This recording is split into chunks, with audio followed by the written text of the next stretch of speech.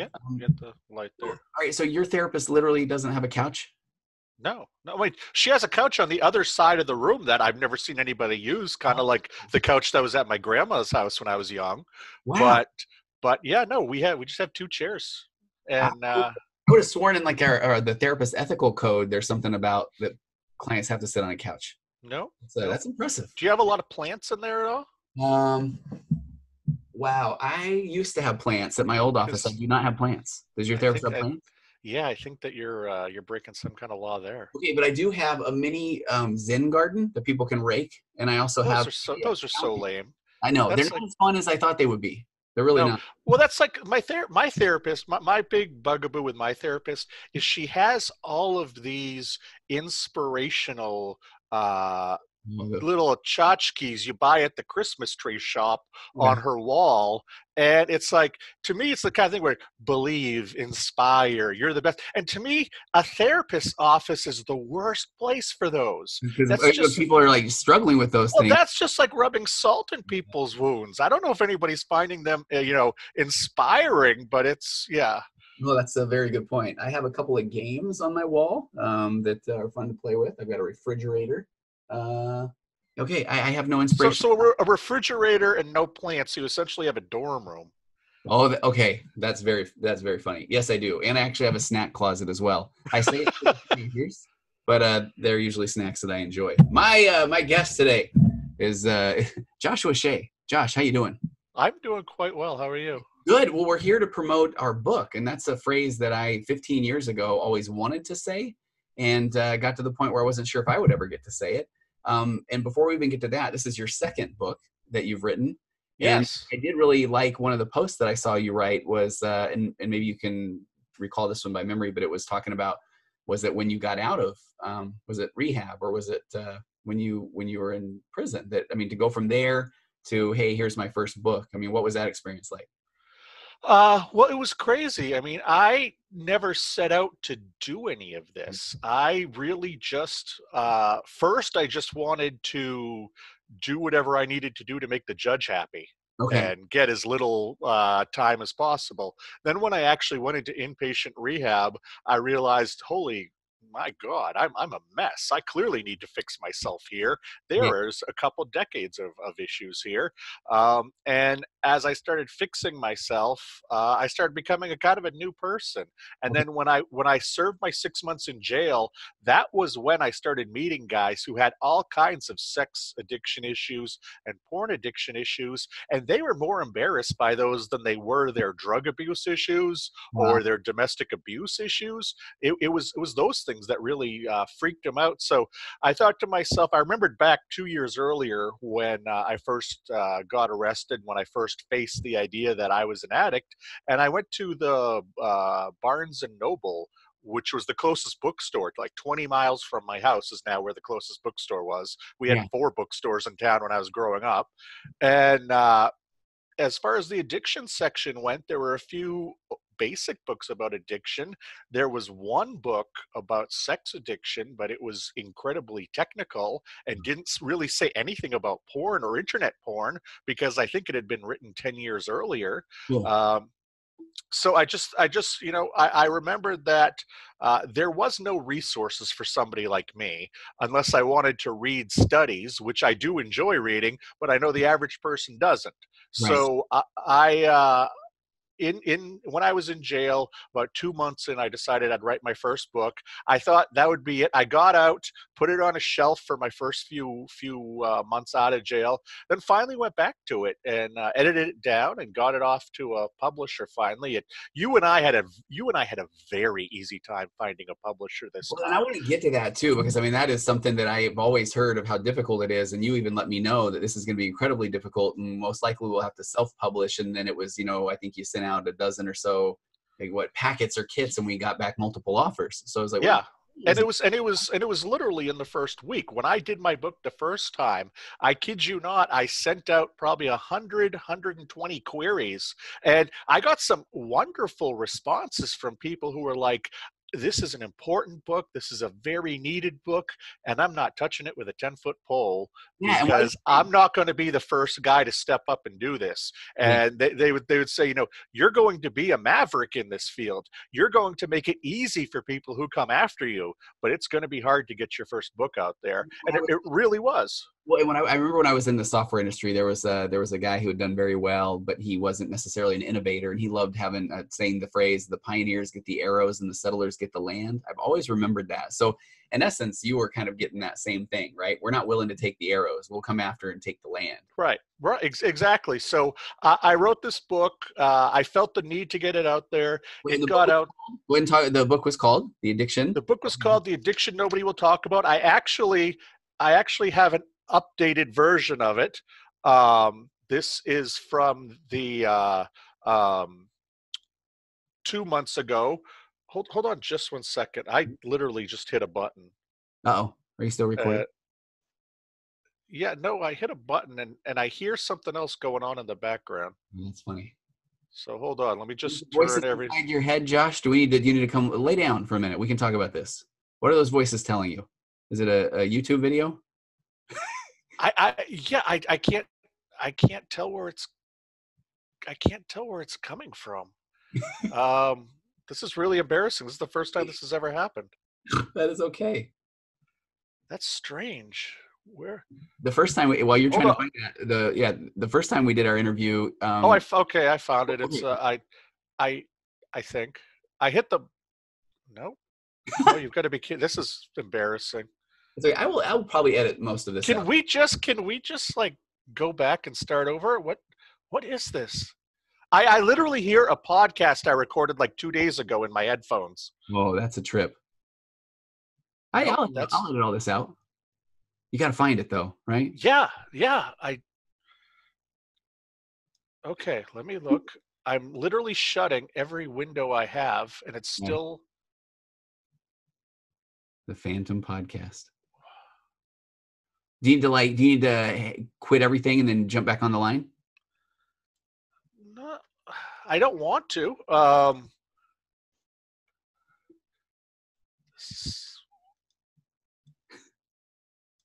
Yeah. I'll, maybe I'll, I'll hit stop recording for a second. I'll do that. Okay. Oh, pause. I'll hit pause. okay. And we're back. So, uh, so that was kind of a fun experience, right? Sorry. No, you're good. I, I, no, I, it's, it's there was another podcast I recorded a few days ago playing in my head and or in my headphones, I should say. So I, I don't have quite the craziness. Right. Um, and it just, you know, I, I, I'm so enthralling. I started listening to it. okay. And then it was hard to, and I had some very funny lines there, but you were so intent on finding where that came from. I started talking about the voices in your head. I, I asked you how, Yeah. how you feel about that. Where does that come from? And I was Well, I, I, loving I, it. s- I started panicking. I could tell that fight or flight was going on. Yeah. It was all Yeah. levels we were shooting up, which we talk about in our book, but we'll get to that later. Now, where we left off was the name of your first book. Okay. There we go. There it is. This is uh, this is called the addiction nobody will talk about. I actually re-released it in September of uh, this year. Um, it with a new chapter that kind of updates where I've been and what happened to me. Um, and the strange, I came on your your show was actually the first one that I came on, uh, or that that that that appeared. I recorded two or 3 Mhm. um, but yours was the first that got posted. And from that day forward, I started getting email, and my website immediately uh, started to take off. And what surprised me from basically day one was that uh, I was getting just as many. Um, emails and messages from the wives and girlfriends of addicts who wanted help and i found that the uh, people who were following my website it was actually more uh, wives and girlfriends of porn and sex addicts Wow. who were go who had the trauma uh, Betrayal trauma? betrayal trauma who were going through uh, the therapy sessions and just wanted to talk to a guy who had kind of made it to the other side or was doing at least better than their guys were. And it didn't take me long. And, and obviously, the first book comes out. So I'm thinking, what am I going to do next? And it didn't take long, maybe three, four months before I was like, okay, clearly I created a resource for the addicts themselves by telling my story in my first book. Hmm. Um, I think that these women need some kind of resource that's more than just another woman telling their story because that's all that was out there was here's my story of betrayal trauma. There was nothing really from the uh, porn addict's point of view, and there was nothing from a real therapist's point of view. And I had a conversation with my therapist, and we were talking about how I was sometimes hesitant when I'd go on a podcast or I was giving or I was giving advice uh, through email that I didn't want to get too technical or too medical or become their de facto therapist because I didn't want to say something wrong. You know, I didn't want to. I didn't want to give them advice that was going to send their life in the wrong direction. Uh, and she made the mention that, well, I at least have the experience. She sometimes hears from people, well, you don't know how I'm really feeling because you've never been there.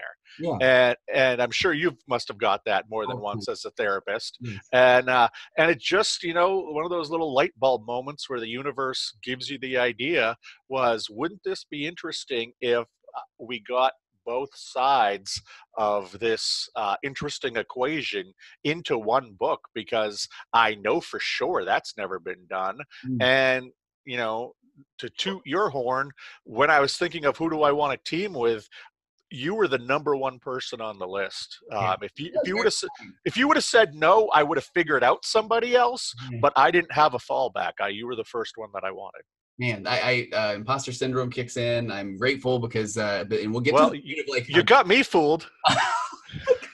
Because how difficult that was, and and I want to, I do want to get to that. I want to first though, um, the fact that you did write your first book was incredible because I know there is so much shame around it.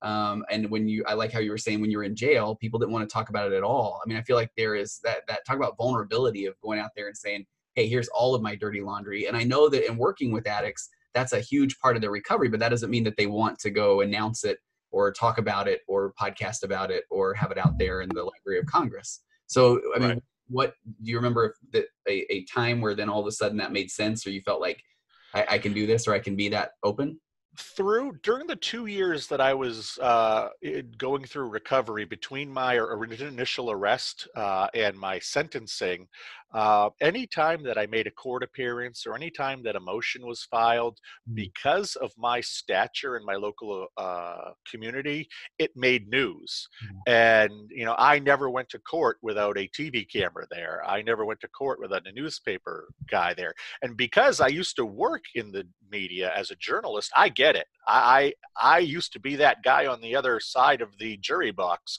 who yeah. was doing the reporting. When somebody has a certain level of visibility, it's a news story. And I certainly was there nonetheless, I still felt a little bit resentful that you know Joe the plumber or Bob the, the tow truck driver, uh, they weren't on the front page of the newspaper every time something happened, yeah. and that made me feel resentful for a while, but then I started to realize as I was thinking about doing a book, as I was starting to evolve with my recovery and dropping things like resentments, that because my story is out there, I can't hide from it. Yeah. Most of these guys who are unknown can hide from their story. You know, n- not only is my story out there, there's a whole heck of a lot of wrong information about my story out there. Mm-hmm. And um, if I wanted to not necessarily set the record straight because I know there were some people who will never believe me no matter what yeah. I say, sure. uh, but just to tell my side of the story or or my recollection of events and, and my opinions, um, and to get this idea out there that you know there is no stereotypical porn addict yeah. if you are a porn addict seek help um, I, I could be the one who could write this because um, I had the kind of stature that I thought a publisher might be interested in. I know it was only localized to Maine, hmm. uh, but because I had a bit of a local stature, I knew that I could get podcast interviews. I know that I'm a half decent communicator, so I, I could tell my story. Um, you happen to be a writer as well, which is uh, didn't didn't hurt. Right? Yeah, no, that and that didn't that didn't hurt either. So I knew that I brought some things to the table that the average uh, porn addict or sex addict or somebody going through my situation may not have. So yeah. having these skills and and wanting to give something back uh, at that point, I really, um, I really just came to the conclusion that writing this book uh, would, you know, not necessarily atone for my sins because I don't think on some level there is atoning for that specific sin.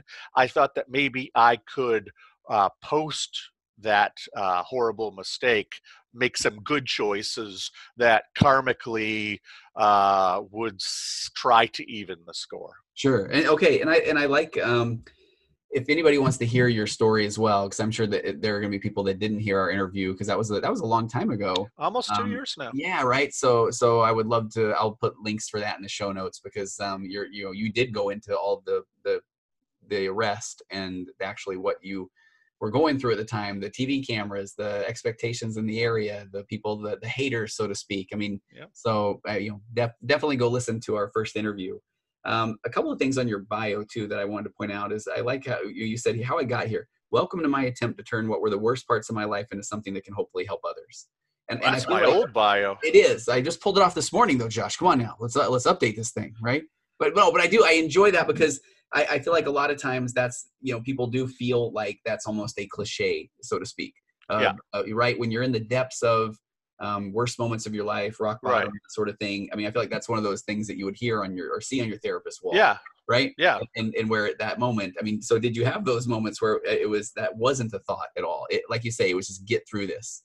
I mean, Oh, abs- oh, absolutely, absolutely, and, and and you know, I even understand how slightly trite it sounds. You know, Okay. I, I, I, you know, I didn't experience this when I was in jail, um, but you hear about people who go to prison for long stretches and find Jesus, and Yeah. it's like, if only you could have found Jesus six months earlier, uh, maybe you wouldn't have done that stupid thing.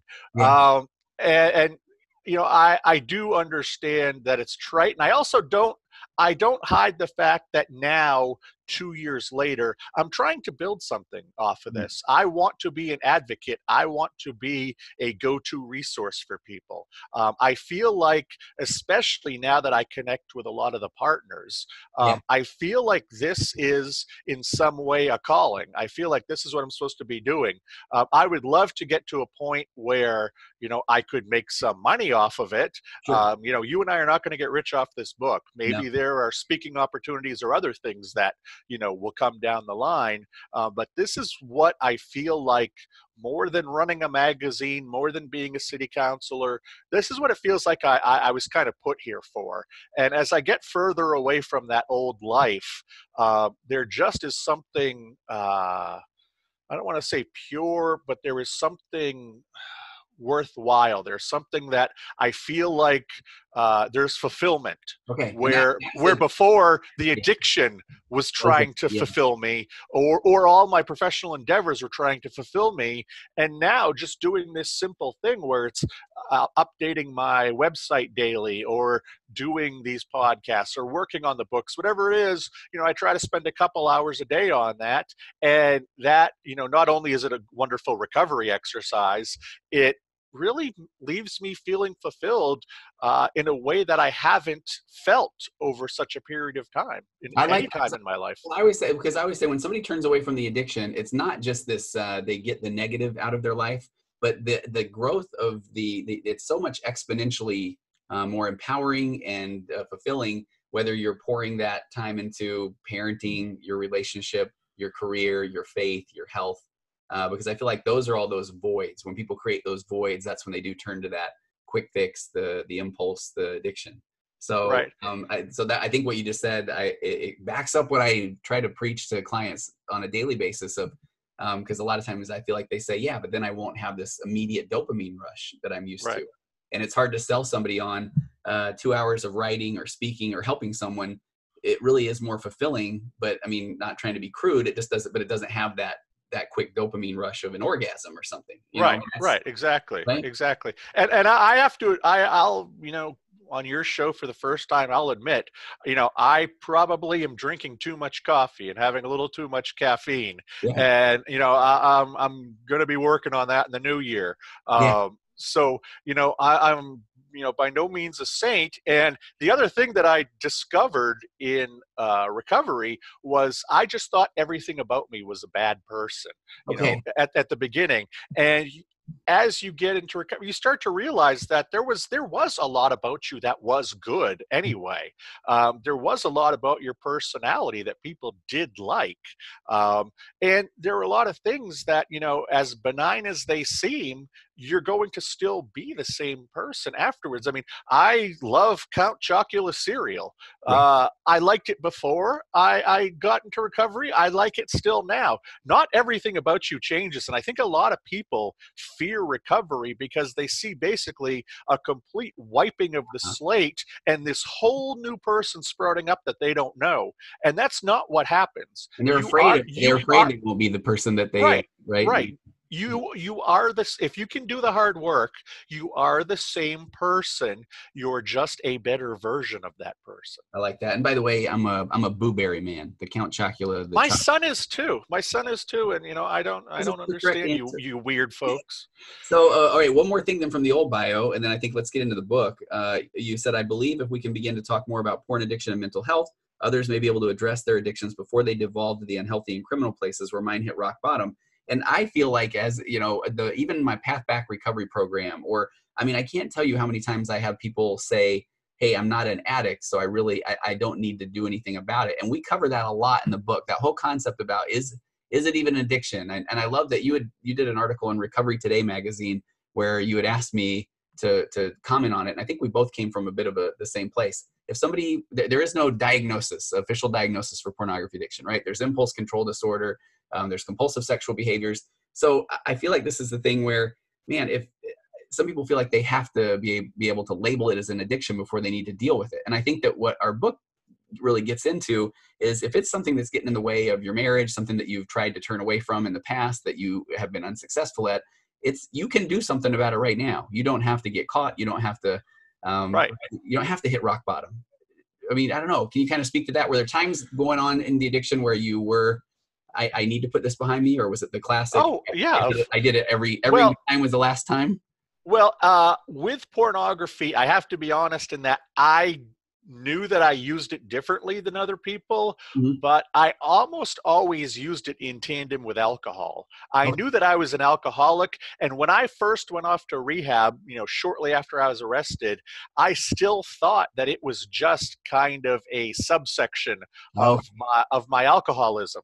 It wasn't until I started meeting with a CSAT uh, yeah. off cam- off campus at my first rehab that you know I, I came to understand this is a separate co-occurring disorder yeah. and this has actually been around even longer than my drinking right. uh, but by several years uh, and this is something that needs to be addressed as a whole uh, unto itself did i make promises to myself yeah especially towards the end when i would you know be up till three four in the morning in these chat rooms you know i'd say i've got to go to bed. I need to mm-hmm. get more than two hours of sleep. I can't get two hours of sleep three four days in a row. I'm going to be a mess and tonight i'm going to go to bed at 11 o'clock when i'm done doing my work and there i find myself 3.30 in the morning not being satisfied by what i'm finding online yeah. and just like how did i get here again? Yeah. how did i get here again? And it's the same feeling that i had you know every every time I got behind the wheel of a car after I drank too much,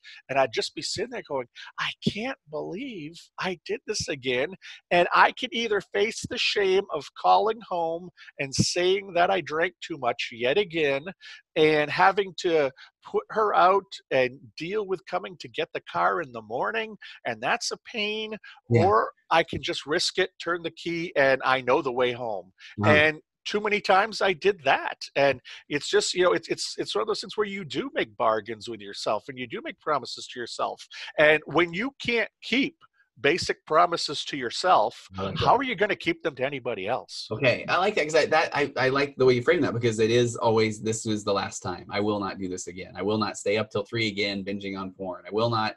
Right? I mean, after this time, never again. Yeah. And that is that. And then you're breaking that promise to yourself uh, over and over.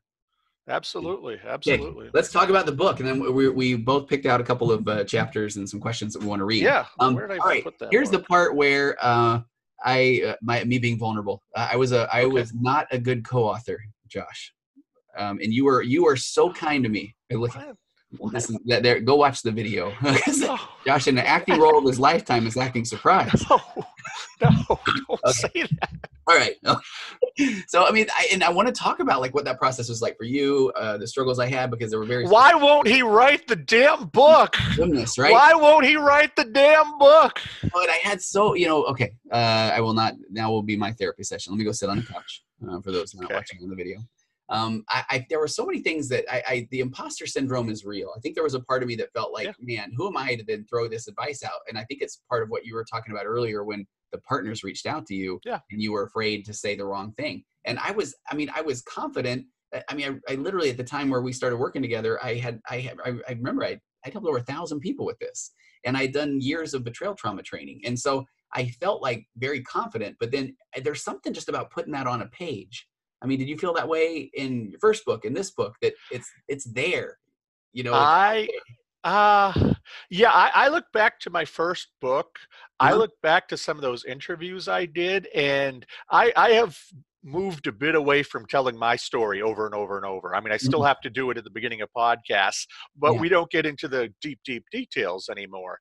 And I look at some of those old podcasts, or when I added that chapter to my book uh, back last fall, I, I reread the book for the first time in a year.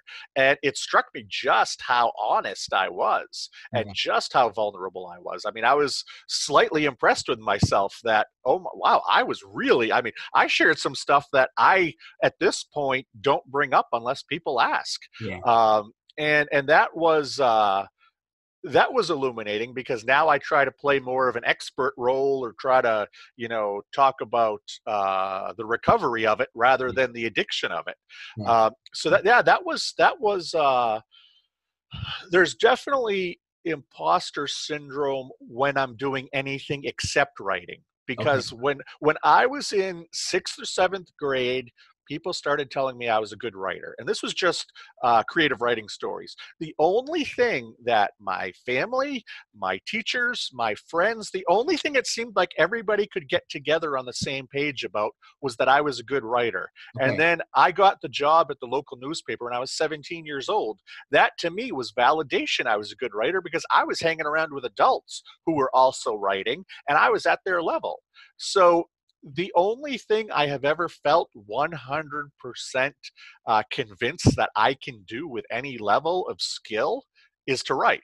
So and it's it's, it's one of those things where it's it, it, I have to pull back when yeah. people tell me they can't write, or my wife says, you know, can you help me with this? Uh, or my mom or dad even still come to me and ask me to help them, and it's like it's just writing down the the voices in your head. That's yeah. that's all writing is. It's just and and I have to recognize that not everybody has honed that skill. For you know, you say you need ten thousand hours to be a master at something, and I'm sure I've put that in by now.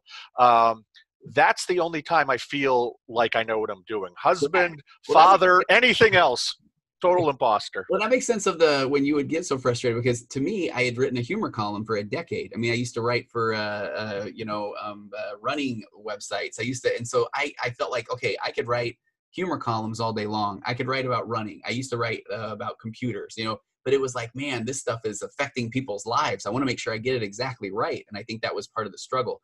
Um, I like that. Then you were so uh, patient, and then you came up with the idea of what we would meet once or twice a week, 5 a.m. Uh, my time, 8 a.m. your time. Uh, you would ask the question, and I would ramble on, and uh, then you would take the answers and then transcribe. And I think that was kind of where then I think that was step one of where I felt like, okay, we can do this. Um, that was a stroke of genius, Josh. That was a well. That, I, that that's actually the technique I use when I ghostwrite. Okay. Um, I you know I like I said I don't make a living at all off of this porn addiction stuff. I I lose money on it. Uh-huh. Um, my day job is as a ghostwriter, and I usually talk with CEOs or other high ranking people in uh, businesses, or I talk to people who finally want to get their life story down on paper. Maybe they're an mm. older person. And sometimes people have 20, 30 pages written or they have some outlines, but it's often never enough and I need a lot to fill in. So I'll do these kinds of interviews where I ask questions and they answer them because I can then you know transcribe their answers clean them up put them into readable readable way and do it. So it was uh, it was nothing that i'd never done before Mhm. and uh, you know i realized that uh, with your arthritis you weren't going to be typing your answers so i had to get them out of you somehow. The, funny thing is like yeah anyone listening to that wait tony has arthritis it's no you have no idea how much i type. I mean i'm i'm, I'm overly verbose and which ended up being a problem when i once once i did get uh, going with the typing so that is that is funny i think that was part of my own frustration is i actually enjoy writing as well and you know and i if anything uh, i i when i started writing um, in a newspaper i struggled with word count i mean i had a hard Yeah. time ever paring things down which i think we ran into as well Oh, I, I and I still do. My first book, uh, my first draft was two hundred thousand words, and I had to cut it down to ninety thousand. Oh wow. Okay, that's hard. I still haven't posted about the book on my uh, Instagram uh, story because I learned that they have a 2,200 character limit, and I really am. Huh. I've got it down to about 2,400 characters. I mean, I'm really struggling because there's so much I want to say. But but the editor side in me also has say nobody wants to read that much. Absolutely, and I am aware of that. Right? I'm Get, get, get every get everything you need into the first three paragraphs, including the link where they can go get the book, and then ramble on. And they can skip that if they want, or they can read it if they want. Yeah. Um, but you got to get everything into the first three paragraphs. So I, so I, I, I think the part that was the most difficult for me was once I really started looking at the answers, and I really did. I, I believed in the book the entire time. I was excited about it. I think a couple of things I thought were really uh, that I really enjoyed. One was that we decided that. I mean, you had to hear my answers, but you wrote your answers first. So your answers weren't going to be influenced by mine at all, and mine were not going to be influenced by yours at all. And I think that when I got the book, um, and I will hold it up now for the YouTube uh, crowd, Josh as well, right? When I when I got the book, I was I was surprised at uh, I, I was just very very I don't want to sound goofy, but very proud of the work that we did because we do we we disagree in some sections, we kind of validate each other in some sections, um, and disagree is maybe even a strong word, but just coming at it from those two different angles, I think is so helpful. I think for the person the betrayed uh, to really like you said, and I like that, that I didn't realize you were getting so much um, feedback from the betrayed to really get to interview an addict, so to speak, because Yeah. even when they are asking their partners, "What what's this like for you?" It's it's expected that they're not going to believe them because I mean Right. they, they've, they've had their their world kind of turned upside down, and now they're saying, "Hey, tell me about that," you know, and it's like, "Well, I, I don't believe that," or "I can't believe you're saying that," or so that part I think is is amazing. The answers to your questions. We're going to get to some of those. What I struggled with a lot was, and I shared this with you, I think over and over. I just didn't want the betrayed to feel like it was their fault. I I struggled so hard of wanting to convey that as well as, and I I know that I went over this a million times with you, but every you know every situation truly is different, and so I feel like when people are saying, "Here's what you need to do," the person that is going through this, I mean, they got every bit of their own experiences that led up to that moment. So they they're going to feel like yeah but you don't understand where i'm coming from you know to whoever is giving them advice. And i think that got in the way of any more than anything for me. Yeah, but I mean, you've as as somebody who has sat with these thousands of people, and as somebody who has a podcast that you can see there are hundreds, thousands of people listening. Uh, you you must, and I, I understand imposter syndrome, but you must understand on a logical level that people are getting something out of this, or they Oh, wouldn't be coming back. yeah and and the no and this was a situation where that that you know i was able to set that imposter syndrome aside i think the part that i was working with was i mean i truly feel at, at my in my bones that you know true empathy is what is required for somebody has to feel heard and understood before they can move on to recovery and and that's why i feel like you know i mean i'm i'm i've spoken for 20 something years as a motivational speaker to schools and that sort of thing and and I now realize that motivational speaker, I feel like when I do that, I go whip somebody into a frenzy. They can do it. But then when Yeah. they go home and then they don't do it, then that that has even a negative effect where then they're like, man, I felt so good. I was committed to whatever it was that I just heard. And now that I'm not doing it, something must be wrong with me. So I feel, you know, I think I was feeling that. but but that has enough. That has nothing to do with you. Uh, but you're missing the point though here. So the point though is like I'm I'm about the I'm you know here I am I'm going to be the person that says here's what you need to do. Person reads it and then when they they're like yeah and then when they go home and they're like I can't do that. Then they're like okay I'm a mess. So I was trying to convey you know with my answers even of hey I'm gonna I'm gonna share with you my professional opinion. But I felt like in every answer I was trying to like package that wrap that in this bubble wrap of not just your mileage may vary, but I recognize that you have so many more experiences that nobody will ever understand that lead to this moment that I'm going to give you some advice. And then here's also a framework that if this doesn't work for you, that doesn't mean anything's wrong with you. It doesn't mean it was your fault. And it means that, you know, we're going to find an answer somehow, if that makes sense. Yeah. Do you think that that was uh, truly about worrying about their individual point of view, or do you feel like uh, it was about you failing them and oh, you wanted to you wanted to put a big buffer on each side of your answer, mm. so it's almost like being in a bounce house yeah, where you're never a, gonna you're never gonna land too hard no, because I put this around. That's a great question, but I feel like this is at the core of my very being as a therapist. I mean, I have made a decision over the last few years and i feel like this is what's helped me connect with with addicts in particular where you know and i and i've gone on a few podcasts and talked about this where i feel like at the core of an addict even is this um, hey i i can't i've tried to stop and it doesn't work so i'm broken so i can go ahead and go back to my addiction and even they'll go you know they'll they'll do an online program or they'll read a book and then they go back to their addiction so they're like something must be wrong with me and i've made the decision a long time ago that you know i'm i'm the therapist that's going to say okay you didn't do the homework that okay well, well all right, then now there's where we're working from. So now we've got that data to work with. And, you know, and I almost feel like people are coming in and they want to say at some point, can you go ahead and just, I'm trying to do, you know, I'm going through the motions, but uh, can you go ahead and just tell me I'm broken and because I'm not willing to validate it. Yeah, validate that so that I can go back and do the addiction. You know, because the brain really is wired for path of least resistance. You know, it, it's afraid well, of that. You know, what what could happen if I do this? Like you said earlier, what is that change going to actually look like? Well, and I, I, well, and I also know that you know I felt this way, and I've known. I mean, I know addicts drugs, uh, alcohol, you you name it. I've met them.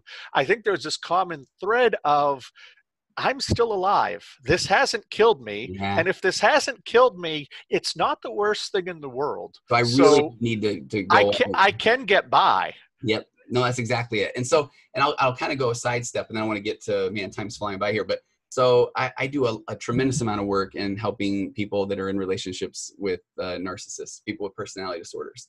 And I feel like anybody is in, this will make sense, I, I promise, but I feel like anybody who just Googles when they kind of all of a sudden recognize, oh my gosh, I'm, uh, you know, I've been gaslit my entire life, or, you know, per, this person never takes ownership for their actions, or, you know all of these things these kind of components of let's just say narcissistic personality disorder.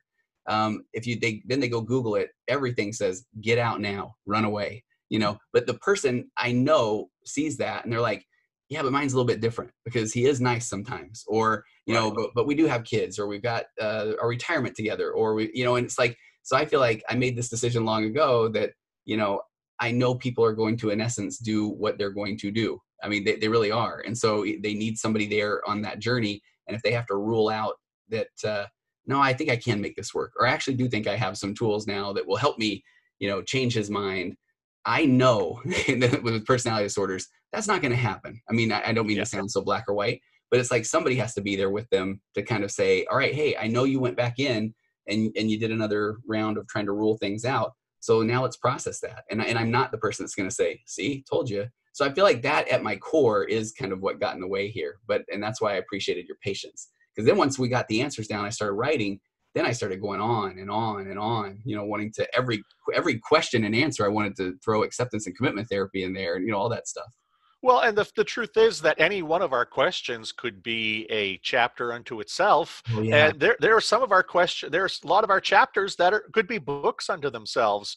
And, yeah. you know, my, my vision for this was just, you know, the average woman, not somebody who is a, you know, psychotherapist or, yeah. you know, a Rhodes Scholar with seven master's degrees, um, not somebody who is a complete moron either. You're just your average person could they pick this up somebody who is is going through this traumatic thing could they pick this up and in easy enough terms just move a little forward you know? Obvi- you and i if you if you and i had a dollar for every time we said in the book go get some real help oh man. uh, yeah. you know we wouldn't have to sell these books we'd be rich.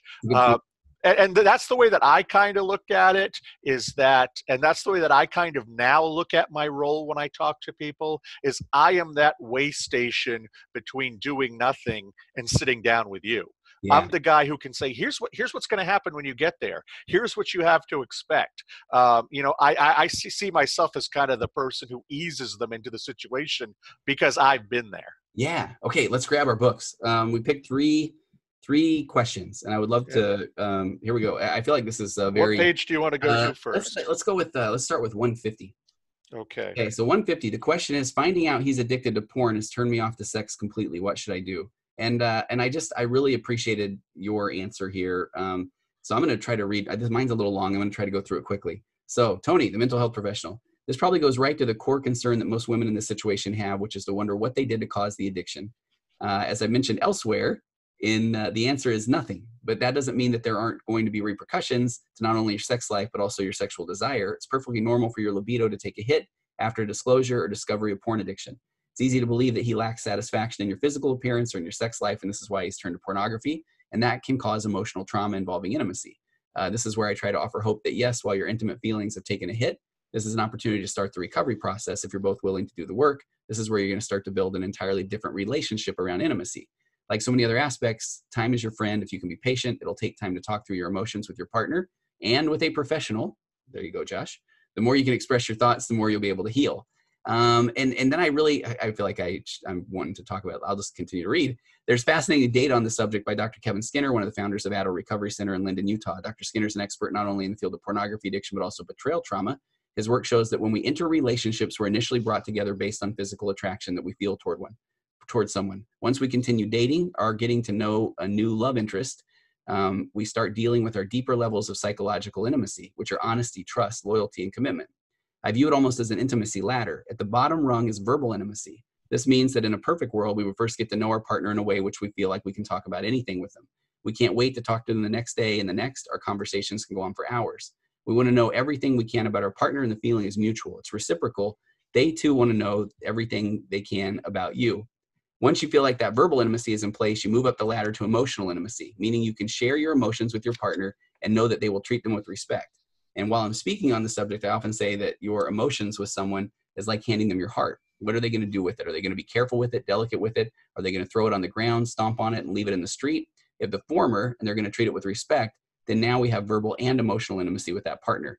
And we not only want to talk with them, we want to share everything with them. Next up on the ladder is cognitive intellectual intimacy. These all play into the feelings that you're on the same page with your partner. Even if one of you is a brain surgeon, the other is a janitor, you still feel connected because you have the verbal and emotional intimacy as a base. Up from there comes spiritual intimacy, which again, if you're connected verbally, emotionally, cognitive, and intellectually, then you can be in different places spiritually, but you still feel connected. So, what is the top rung of the ladder, you might be asking? Physical intimacy. In my opinion, and in Dr. Skinner's work, when you're connected on all these lower rungs or lower levels, then physical intimacy becomes a byproduct of being so connected. This is an entirely new, wonderful view of physical intimacy or version of physical intimacy. Here we go. Too often, men with pornography addictions believe strongly that their relationship begins with the foundation of physical intimacy. And once physical intimacy is established, then they're willing to explore verbal, emotional, cognitive, and intellectual intimacy. I maintain that the entire paradigm needs to be shifted, and there can be a lot of pushback, especially from men who have struggled with pornography and compulsive sexual behavior. They don't want to give up the quote, if we just had more sex, everything would be better story that their brains are telling them. Because the truth is, more sex will not fix their marriage. It will only continue to be a go to whenever they are feeling bored, lonely, angry, scared, tired, you name it. They need to change their relationship with intimacy. I feel like it's important to note that when I work with couples, we talk about the fact that physical intimacy is absolutely a part of a healthy relationship, but increased sexual activity doesn't fix emotional scars. I'll make a bold statement. I believe that in most every marriage, a couple's entire intimacy paradigm needs to be shifted. I've had dozens and dozens of couples come in for things entirely unrelated to their intimate lives. But once we start talking, the subject of physical intimacy eventually comes up.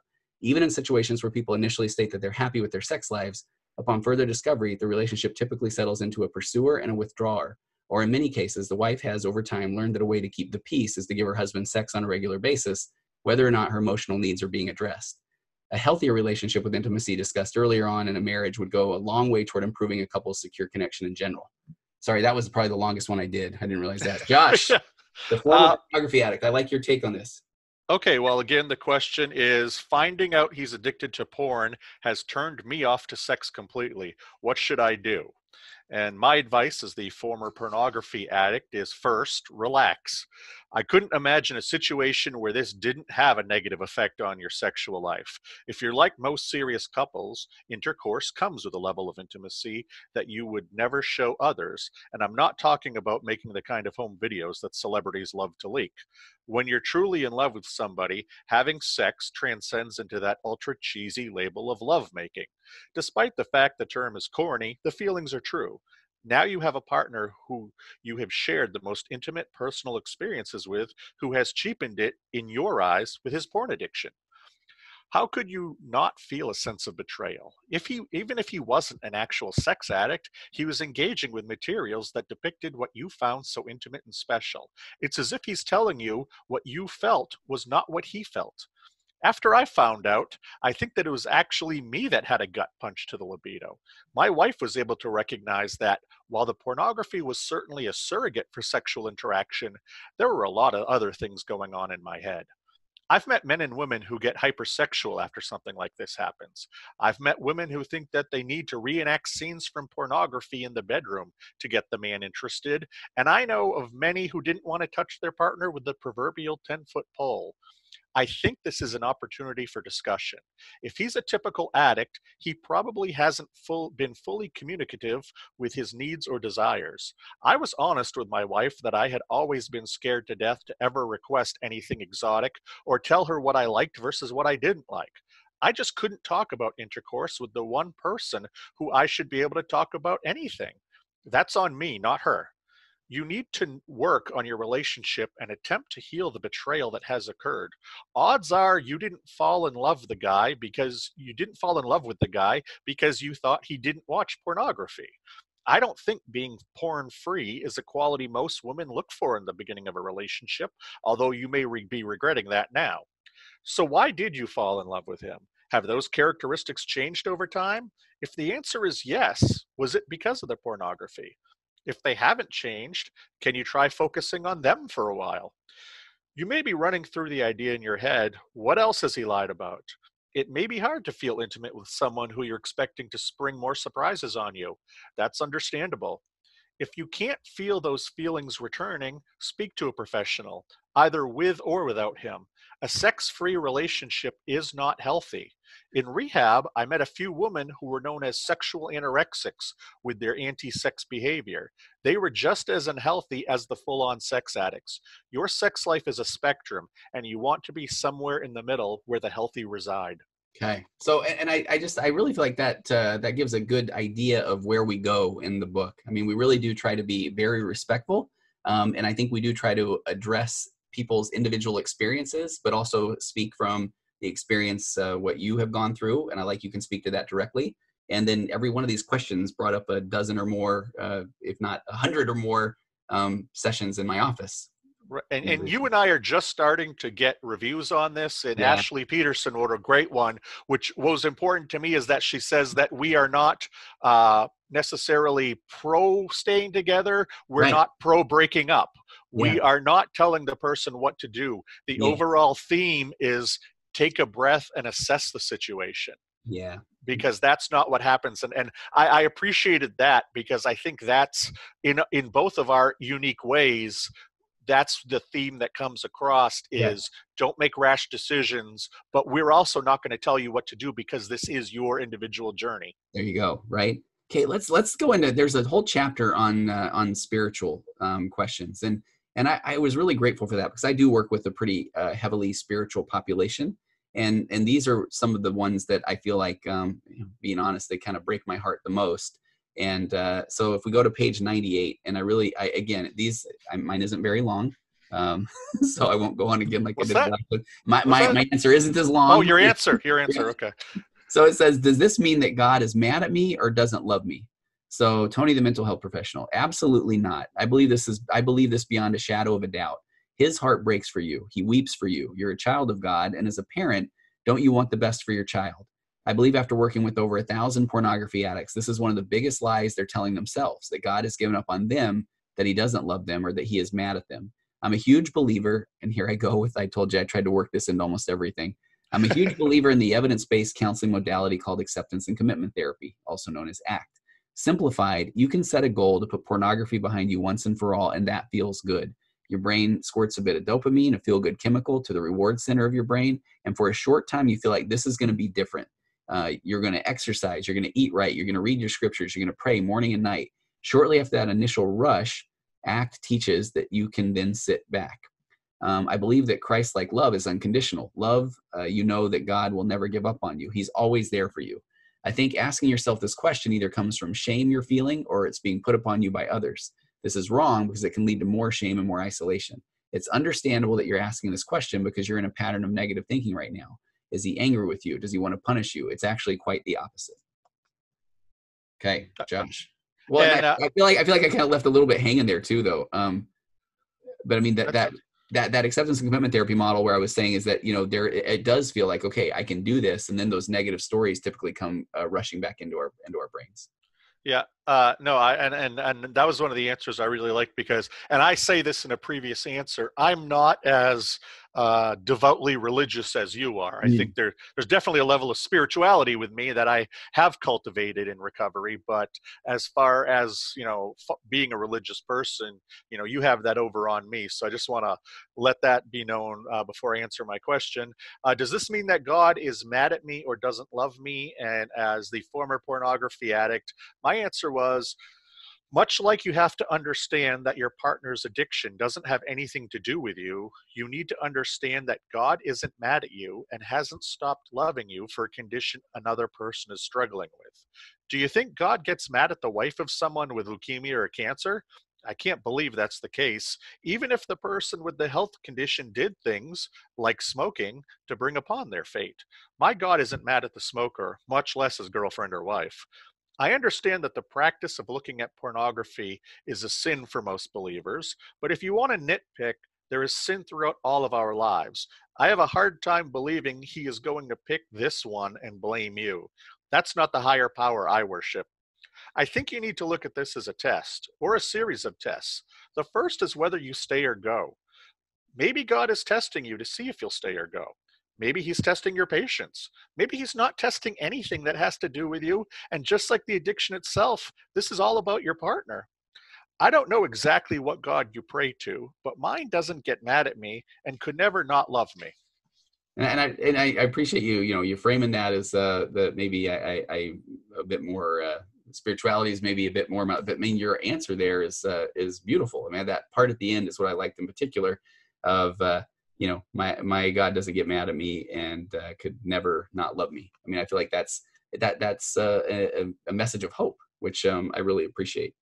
Um, let's hit one more. Do you have time sure. for one more? Okay. yeah, absolutely. Uh, talking to the kids. I think this is a big one as well. And um, and and i liked your answer here a lot as well. I uh, okay mine's a tiny bit long. I will uh, i will make it quick. How much do we tell the kids? Uh, tony the mental health professional and and now I know I like that we had already framed of the the challenges I had writing because now I'm starting to say, hey, I think I must answer every question beginning in some way like this. There's no simple an- there's no simple answer to this question. Um, there are as many experts that believe you should tell your children under the veil of complete family transparency as there are who believe that the children should absolutely not know about a partner's extramarital affair or pornography use. In my practice, I've seen both sides and I've seen them both go well and I've seen them both unfortunately not. So that, that was clear as mud, right? Yeah, very um, good. Take, okay. Taking a taking a strong stand. My first impression, without knowing more about the details of your situation, is no. You don't tell the kids. Let the dust settle. If your child is one of who caught their dad on the computer watching graphic pornography, then yes, you need to be able to explain what happened and what they saw, and that needs to happen without shaming the child. However, as with the majority of answers given in this book, there is no exact science to the answer because every child processes information through their own lens, just as we do one 10 year old might be able to better understand the situation uh, more than another 15 year old. While there are definitely age appropriate guidelines, you know your kids better than anyone else. So ultimately, this information, use this information as a guide and then adjust per the needs and makeup of each child. Developmental biologist Jean Piaget is known for developing a blueprint that breaks down the stages of, quote, normal intellectual development from infant through adulthood. This includes thought, judgment, and knowledge. These stages are sensory motor from birth through approximately two years, pre operational from toddlerhood or two years through early childhood, roughly age seven, concrete operational or roughly ages seven through 12, and then formal operational from adolescence through adulthood. Working from Piaget's model, I find that when it comes to younger children up through early adolescence, unless they were exposed to images or videos or if they were brought around the affair partner and they feel uncomfortable, you don't need to tell the kids. I process situations like why was daddy in bed with that lady from the school? In situations where they have been exposed, I recommend seeking professional help for the children to learn how best to communicate. The key is that you don't want to ignore questions by your child. I think that's one of the big keys. As the child gets older, mid to late adolescence to teens, they typically can pick up on problems between parents. I've talked with kids who have told me something's going on, and either they think I'm an idiot for not noticing, or they're idiots because they can't see it's happening. You don't have to get into great detail, but you can say something like, "Your father's going through some rough times. I'm trying to support him, but it's it's a rough time for both of us." If they press for details, you can let them know it's a private matter, and again, seek help from a professional to help them process as well. For adult children, especially if they're not living at home, it's a matter of what you want to tell them. I leave that up as a group decision between your partner and yourself. Here's the part that I really wanted to get to. Uh, the most important thing is that this information not be used as a weapon against your spouse. You need to keep in mind that you're ultimately trying to work with what toward what is best for the kids. Knowing how the knowing how the kids are going to respond is important. And I've seen situations where a mother knew the kids would immediately vilify the father as she used that as a uh, threat against them. So keep the question, why am I sharing any details with my children at the top of your mind and let that answer guide you. Um, and, and I just quickly before we get to your answer, I feel like one of the biggest things I see is is couples will say, "Hey, we just want what's best for the kids," and I feel like every couple says that initially, but then I, I feel like when people then step away, sometimes when that anger consumes them, then they're you know they they they, they still may not even recognize that they are weaponizing the kids. Right. Well and i think we want what we want what's best for the kids is one of those situations of i know what i'm supposed to say yeah, I think you're right. Absolutely. Okay. I know. I know, I know how I would like to believe, yep. and I know what I'm supposed to say, but the reality is very different. Well, and let me really quickly. Uh, the example I see often is in. So then, if uh, if you know, and I've got, I've had this one so many times. Then kid asks dad, you know, uh, why is uh, why are you sleeping in another room? You know, instead of he's like, well, go ask your mom. I mean, it was she's the one that that wanted me to. And then it's like, okay, is that the best for the kids? And then the guy will look at me and say, hey, I, I mean, I just I don't want to. I've got to be honest. And it's like, no, no, you just wanted to vilify mom. You right. know? And yeah. pass the buck. Yeah, exactly. Okay. All right, your answer. So, uh, my answer to how much do we tell the kids, uh, and keep in mind, this comes from my point of view of I was outed by the police showing up at my door. There was no plan the morning I woke up this happening, so it all mm-hmm. just hit me.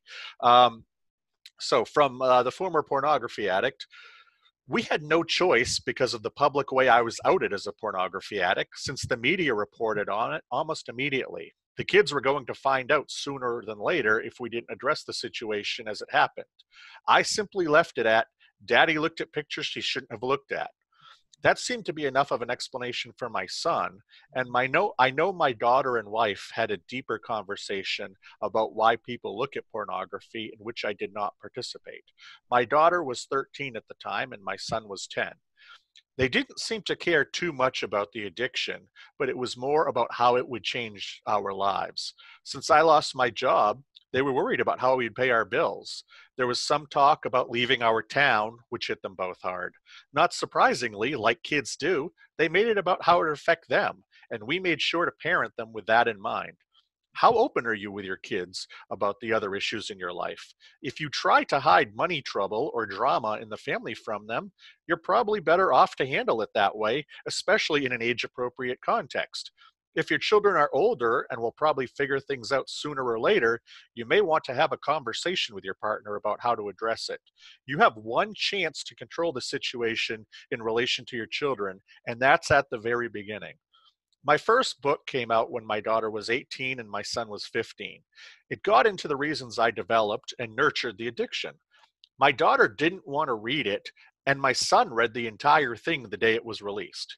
He said it made him sad in places, but he could handle it. It's out there if she ever wants to uh, read it, but I'm never going to force her. If you have older children or adult children away from home, I think that it comes down to whether you are staying or not. If you're staying, think long and hard before sharing the information about dad's addiction early in his recovery. If you're leaving, you can gloss over it in the short term and evaluate down the road if it's your place or his to say anything. Okay. I uh, I just love that part about we, your first book and the different experiences with your son and daughter. I mean, I feel like that. I really think that speaks to the again, everyone can handles this in their own way, and so right. Uh, and, and our job is not to force the issue. Right, right, absolutely. And my daughter and I have a wonderful relationship, and my son and I have a wonderful relationship. They're very different relationships, mm-hmm. and I have to be a different father who uh, nurtures them um, and parents them in different ways because they're individual people who are just as different as much as they are alike. Yeah, I love it. Hey, uh, quickly too. Um, uh, I have again, I mean, first time uh, co-author. I've been pretty blown away by the professional reviews that we received, and uh, and I just I'm I'm kind of putting that out there for a lot of therapists listen to my podcast. A lot of uh, people that struggle with addictions listen. A lot of people that have experienced betrayal trauma listen. And and I'm not just trying to say this because it's our book project, but I'm just I'm really grateful that you had this idea, this vision, and and I just I, I the reviews we're getting. Um, I was nervous. I mean, I was worried that the we wouldn't get a good review. I was worried that people would think, uh, "Oh, these guys are full of themselves to try to tell people what they should do." But man, the reviews have been really, really incredible from the people that that know this field and industry. And, and I think it goes back to what you said at the beginning. There had not been a book like this. And, and so I really appreciate the opportunity to do something that's conversational, yet also I think is going to help people in their recovery, um, both from the betrayed and the addicted. Well, and I hope that you know you, you point out that uh, you know we got a lot of great reviews from the uh, therapist and the uh, csat community mm. um, because because there's nothing out, there like this and for a lot of the therapists who, who might be listening or whatever if you don't feel like you have the working knowledge when somebody comes in and talks about pornography or e- even sex addiction because that can easily be transferred into this book yeah. um, i think that you know this could be a good primer for you this could be the kind of thing that you uh, you know give to your patients. One of the great great things about rehab when I was there. And one of the great things about my therapist, who knows that I like to read, is that these people are always handing me books that they've enjoyed or that they got more out of because we have an hour together. So we can't do this. You can sit there and read them our book, or you can hand them our book and, and let them read it and bring it back the next week, uh, or you can sell it to them. That's even better. um, but but the thing is, I think that uh, hopefully this makes a dent into the community that that you're a big part of because I think it can be such a great resource, not just for the patients, but also for the clinicians and the therapists themselves. And, and I do, and I thought about that earlier, and when you were talking about um, when the, the betrayed were reaching out to you and you didn't want to say the wrong thing. Unfortunately, this is such a uh, you have to spend time in this in this world either i mean you've been there as the addict i mean i've got almost 15 years now of working with the, the betrayed and the addicted and and if i'm being honest i mean i i hear a lot of stories that again break my heart of maybe the betrayed coming into my office. And when i say hey what's your experience with counseling in the past? you know they'll they'll share a story with me where uh, the first question out of a non trained counselor is well you know were you were you having enough sex? Like is that part right. of what you did? And man i mean first of all i want to like go give me the therapist number. I want to go strangle him you know which yeah. uh, um, and that is not a threat to others. I do not need to be reported for that uh, but, but you know those are those things that it's like yeah if you're a therapist and you're hearing this and you really don't have the training necessary um, and i think one of the if i'm being super honest i think therapists listen will know this if you if your practice is new if your practice is struggling you know a lot of times therapists do say I, am sure i can handle this you know yeah. I, i'm sure i can build rapport and then i can use some some good uh, therapeutic modality and i can help somebody through this but if you really don't know what you're talking about you you there is a potential to do some some damage and i think again that goes back to why the book was a struggle for me to write at times was i just was uh, worried about that but i feel like i feel like what we've put together here is just a really good resource well, and just just to quickly add, um, I, I kind of feel that same way when I go and I look at Reddit forums or. NoFap forums yeah. and see you know it's great that there's fellowship it's great that there's guys helping each other but having been through so much therapy having done so much research um, knowing a lot of people like yourself now who mm-hmm. are experts in this area um, i feel like i know a lot more than a lot of these guys who are helping each other yeah. online who have never been to therapy who, who don't know any of the science behind this who don't understand betrayal trauma or trauma in and of itself uh, trying to give each other advice yeah. and you know that, that's one of those areas where it's like if you want to be an armchair psychologist on Reddit, you know, do some reading. Get get a little bit of experience. I I'm never going to go to all, all the schooling to get to the point that you did. I don't have it in me, but I like to help people online. I like to help people when they write me an email, and uh, I think that this book can help a lot of those people as well. Yeah. All right, Joshua Shea. I I, I want to. Uh, we should talk again about. Uh, maybe we'll do a part two and read a few more of the answers or that sort of thing. I think that'd be uh, that'd be kind of fun. Yeah, absolutely. Okay. I, I, I, I, get the feeling that your answers are for college graduates and my answers are for high school graduates. But uh, there's the yin and the yang. There's yeah. the the ebb and the flow. The it all works together, um, and uh, and will allow people to live happily ever after. Absolutely. Oh, real quick, where can people find you?